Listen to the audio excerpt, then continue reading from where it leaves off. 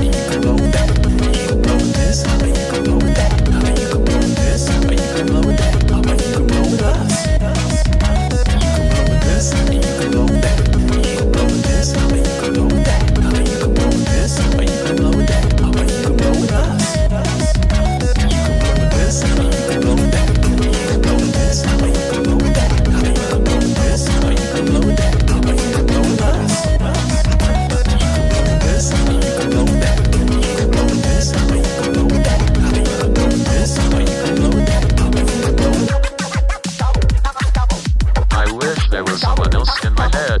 Telling me to stop fucking and go bed. Other words, I'm not a complete nonsense. to attitude my me public, and I'm completely dense. Every So remember this.